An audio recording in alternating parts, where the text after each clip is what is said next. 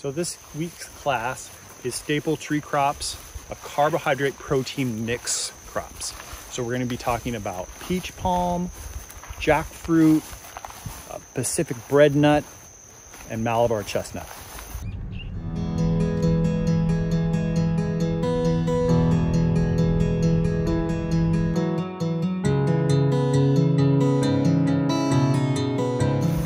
Uh, so here we have a very large jackfruit tree.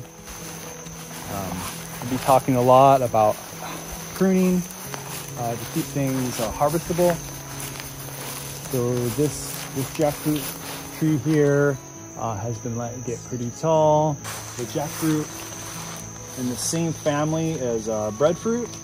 Um, they get very large fruit. You can see there's some there's some very tiny young fruit on here. Uh, but some of these, the fruit can get um, massive, uh, weighing 30, 40 pounds or more. Um, so harvesting them from very high up in the tree uh, can be a, a, pretty, pretty big challenge. Jackfruit tree, um, the fruit is commonly eaten, is sweet, but the seeds are actually a really great source of uh, protein and carbohydrate. Uh, so the seeds can be boiled, uh, the fruit can get very big, uh, so it has a lot of uh, sweet uh, uh, pulp that's edible, but it also has a lot of seeds that many people just throw away, where actually there's a lot of nutrition in that part of the fruit. So we can take those seeds, we boil them, um, and then we can make jackfruit seed hummus, or just dip them in some salt and then just eat them out of hand they're kind of like uh, a garbanzo bean uh, mixed with a chestnut, um, in, in, my opinion. But it's an excellent uh, staple tree crop. Uh, we'll be talking all about how to to propagate, uh, harvest, use, preserve um, all aspects of jackfruit uh, from the the tree to the table.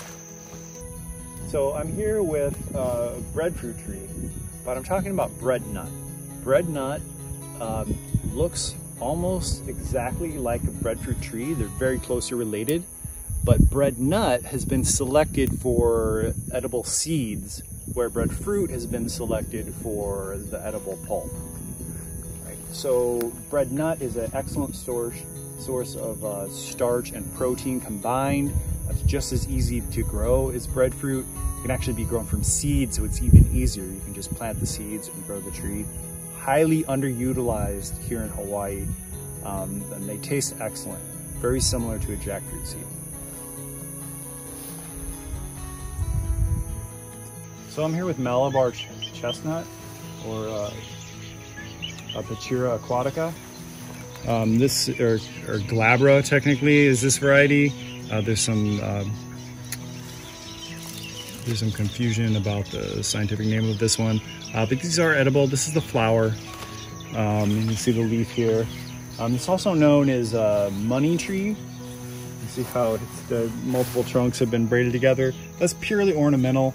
Um, it's, it's not necessary for the tree in any ways. Um, but this produces uh, seeds in a, in a pod. The pod will break open uh, when they're ripe um, and you can pick them up off the ground.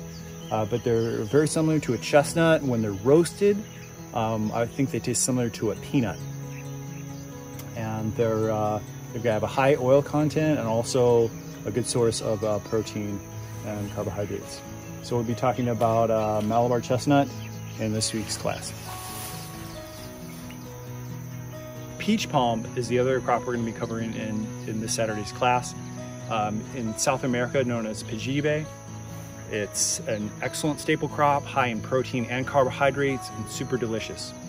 Very easy to grow, long-lived, uh, but highly underutilized. And when it, where it's grown in South America, it's a, it's a common staple, uh, but here people just don't know about it. So come join us, learn how to grow this amazing staple tree crop. So hope to see you at Staple Tree Crops uh, Part 3 Carb Protein uh, Mixed Crops.